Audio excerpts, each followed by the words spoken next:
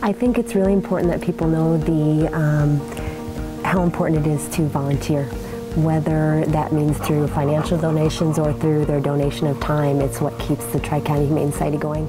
I think there's sections of the population that don't have a voice, and animals are one of them. And I think it's our job to be their voice. No, they can't speak for themselves, and, and we need to do it for them.